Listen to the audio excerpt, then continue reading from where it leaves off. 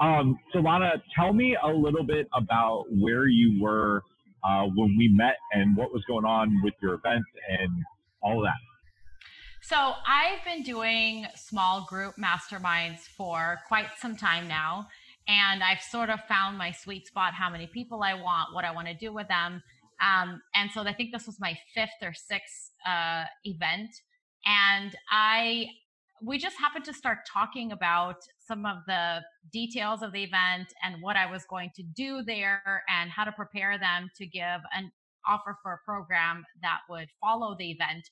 And right away, I love the questions that you are asking because obviously the quality of the answers depends on the quality of the questions. And it's great to have somebody who's from an outside perspective, who is not in your field, who's not drinking your Kool Aid and doing things the way that you've done them or in your industry, show up and say, Hey, what about this? And how, and how are you going to do this? And so just the questions brought up some opportunities for me. And then as I thought more and more about it, I realized that even though I have sold from stage and I am naturally good, well, I'm good at what I do. And so there wasn't that much sales that I really needed to do. Um, I just basically would provide a result and say, Do you want more?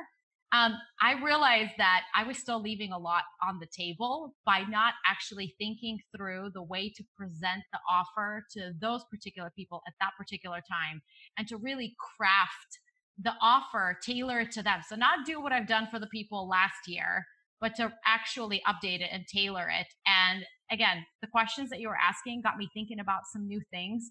I definitely added more to the program that I wouldn't have otherwise, like the oh shit call, for example, which was very popular when I, and I did have a gasp in the room when I said, oh my God, and this is what I'm offering. That's just not something that I've seen or heard anybody talk about. And it was definitely the kind of thing that my audience in particularly would respond to, and they did. And so I feel like it's things like that that you don't know what you don't know. And so it was great to have conversations about what I don't know and then be able to actually customize the offer and practice giving the offer, which for me was a huge thing. Like I am not a performer. I'm more of a show up and do what I feel channeled and inspired to do, even though I prepare a ton. I'm not somebody who scripts everything they say. And that was one of my concerns. Like, I'm not going to follow a script. But just because I practiced it so many times by the time I got there, I, I just naturally could flow, but now with much more preparation, much more skill and sequencing and engagement from the audience. It was just so much better than anything I've done before. Like, what were your insecurities of the event, and how was I able to help you solve them? Like, what were specific tactics that I worked with you on? Well, one is obviously, I think you could probably hear in my previous answer that I did not want to sell you know, there's even though I am somebody who personally embraces the word sales and marketing, and I don't have an issue with that. Um, I did find that at certain previous events, when I would get into kind of a pitch, if you will, something that was pre prepared, that was um, a big jump for a lot of people. Uh, that maybe wasn't quite as a no brainer as, you know, a, I don't know, some online course or something, something smaller for big high ticket offers, I found that I definitely had a fear of selling. And it comes down to a lot of things fear of rejection. For me, the rejection wasn't so much about, you know, these people rejecting me, but more like, am I misusing their trust? Um, and a big, huge part of it was actually setting up even before the event that there will be a continuation. One of the key things that you help me see is that if I craft an incredible life changing event, that's you know, scale of one to 10, let's give it a seven or an eight. If I can create a program where they can actually implement this and take it to the next level, then that's what's off the charts.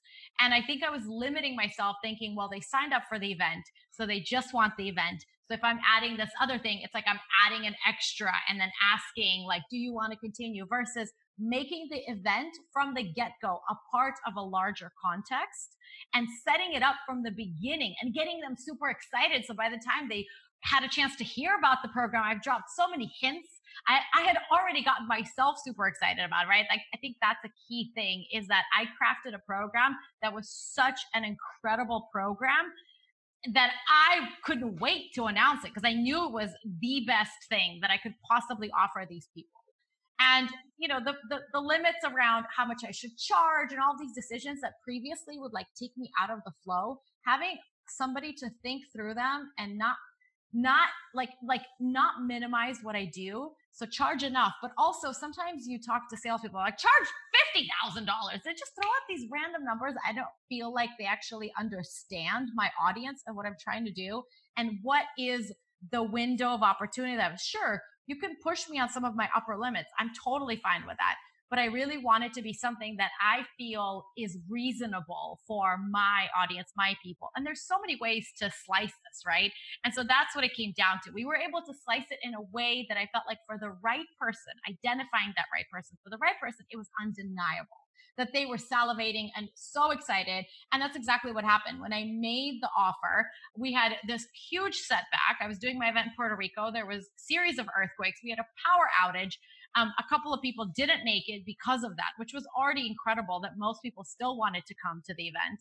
But when they did come, like I had less people to pitch to, and I still got the number of people that I wanted to join. So out of nine people, five people signed up for this program, which was like my goal. And so it's using these setbacks as opportunities to say, okay, now I just got to do an even better job. Like, what else can I do? What else can I offer? so that these people are really, really clear that this is who it's for, this is what it can do, and that it makes it easy for them to really feel supported in saying yes. Awesome. Um, I think so. You touched on a lot of things in there. Talk about. I think the first thing is like a lot of people have this idea of like I don't want to be salesy. Yeah. Do you think that I didn't push you to sell from stage, right? Did you feel like you were ever incongruent no, or no, pushy? You're not a pushy person. And that's why I almost feel like calling you like sales expert. I mean, that is true. But I really feel like what you did, I, I think I told you this. I, I, just feel like you made it persuasive.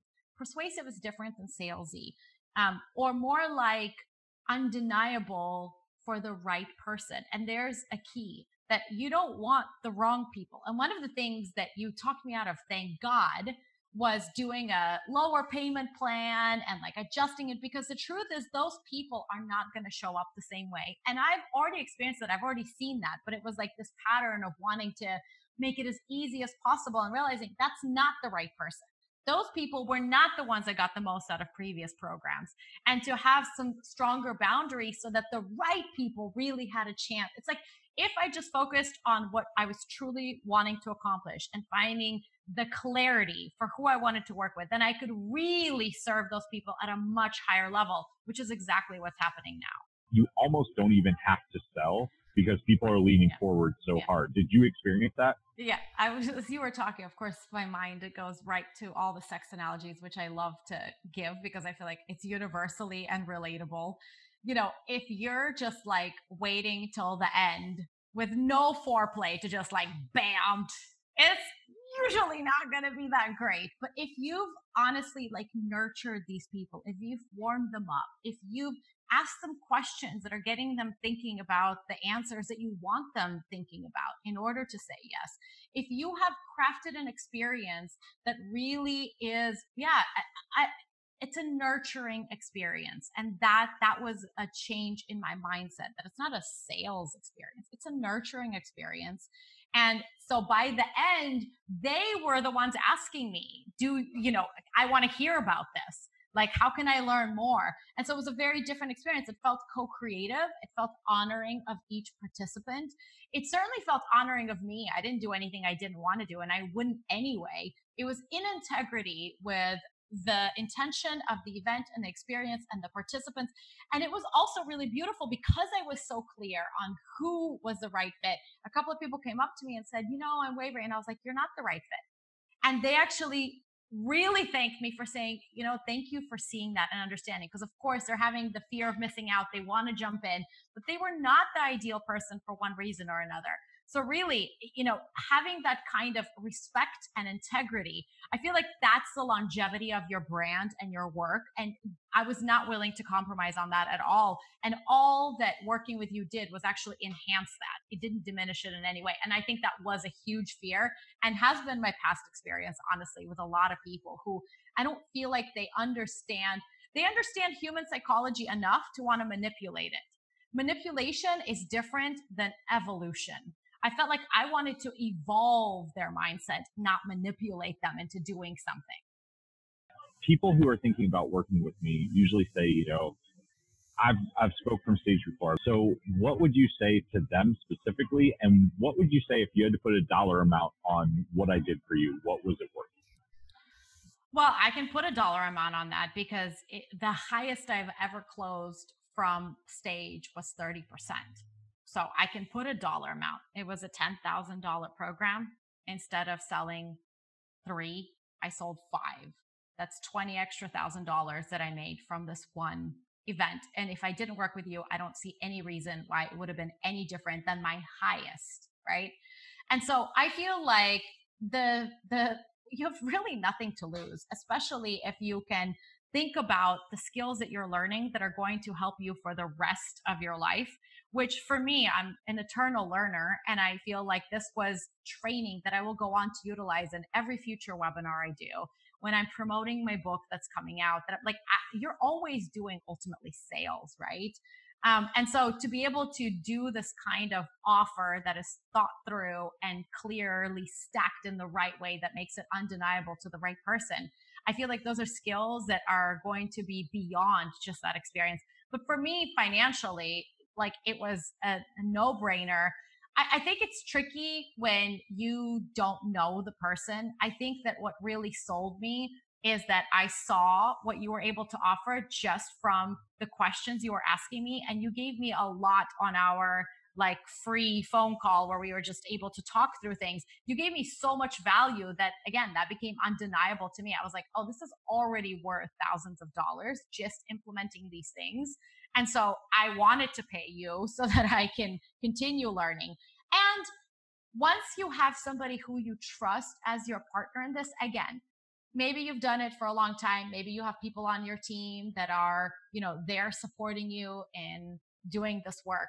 But to have somebody who's a consultant who's seen, I don't know, dozens, hundreds of people doing these kinds of experiences and events the human capital, the knowledge that you bring to it is going to be way deeper than me in my niche, in my field. Even if I've attended, you know, 20 events or whatever, that's different than working with 20, 30, 40, 100 people who have put this behind the scenes and seeing what works and what doesn't. I think that one thing is that you were really able to talk me out of the things that wouldn't work again, that's wasted energy. That probably would have been just a drain for me. And if I would have been drained, I don't think I would have been able to show up as fully. And so saving that energy and putting it in the right things.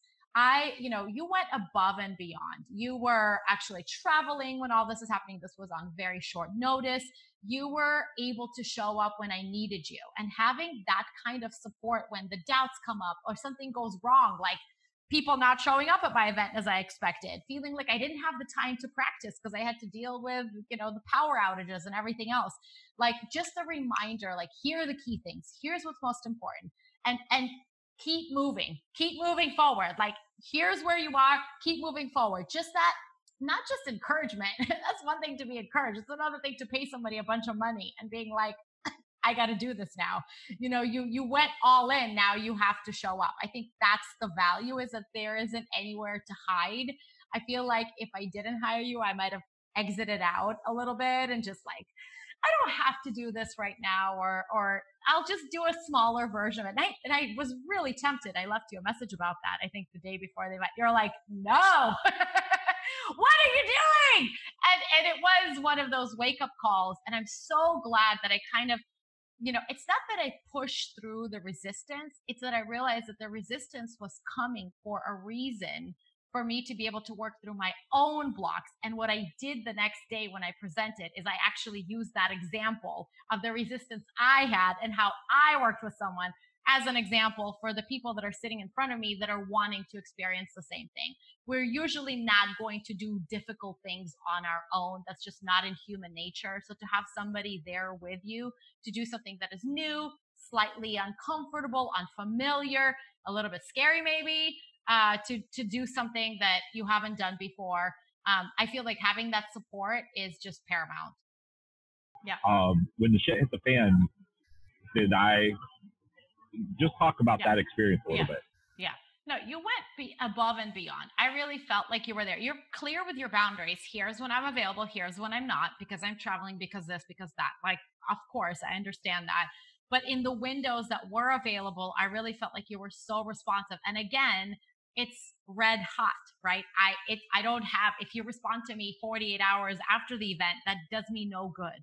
It it it, it was considering um my needs and predicting also. You were like, hey, before the event, check in with me. Like you were predicting because again, you've seen so many people go through this. You could probably spot, you know, what things could come up. So you're like, hey, if this happens, reach out. If that happens, reach out in this way. Like I felt like you were so responsive. And again, I really feel like it's it nipped a lot of things in the butt that could have grown out of uh, control and really derailed what I wanted to do. So just having that opportunity to address the doubts, the fears, the discomforts, or just the questions, you know, like, hey, like this came up.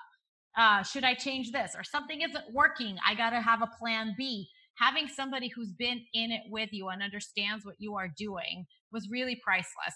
And I, again, I feel like the the qualities that really describe you is a you're brilliant and you really know what you're talking about and I don't use that lightly because I've been around the block for a long time. I've seen a lot of people do a lot of things. You're not somebody who um, you know, created one business, did one thing, and now you're just teaching everybody how to do that one thing. It's a cookie cutter thing. Like you understand how business works, how psychology works. You're really a great listener and you're paying attention and tailoring what you are saying to each person.